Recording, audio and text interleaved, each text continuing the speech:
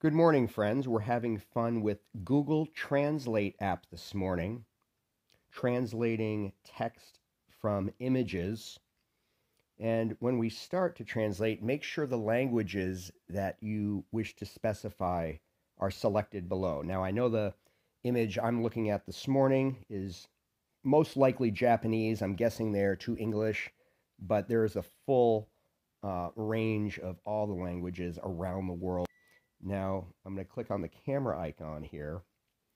That was just my oven reaching temperature in the background. And I'm going to click import to translate this screenshot that I'd done of this Japanese language. You see the translate app scanning that. Now what I'm going to do here is select all. And then this top portion here, the I'll hit that arrow. And here's the full translation now. Really cool. It is in Japanese.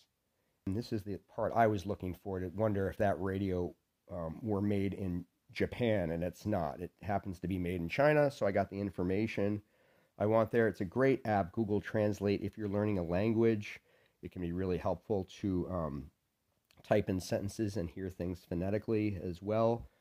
Thanks for tuning in with this translate tip this morning, and I look forward to reading your comments below.